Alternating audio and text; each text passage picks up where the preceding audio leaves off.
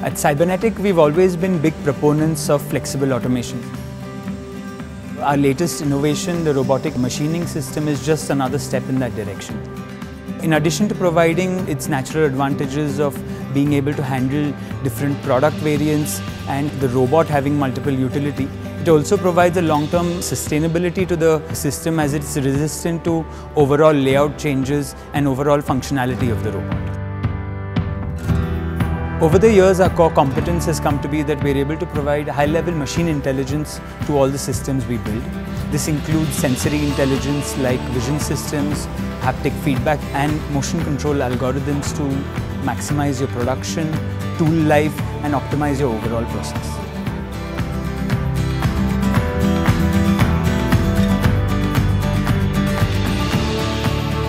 All our systems are equipped with continuous conditioning monitoring and data logging integrated through IoT. What this helps is with continuous process analysis and optimization through monitoring of your tool data, your spindle data, as well as overall process parameters. What we strive to achieve every single time we build a system is to ensure a minimum downtime for the system as well as an overall high equipment efficiency.